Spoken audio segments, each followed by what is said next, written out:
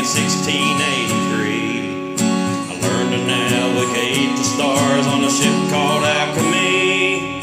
The ship was going under, breaking up against the shore. I crawled upon a shoreline I'd never seen this place before.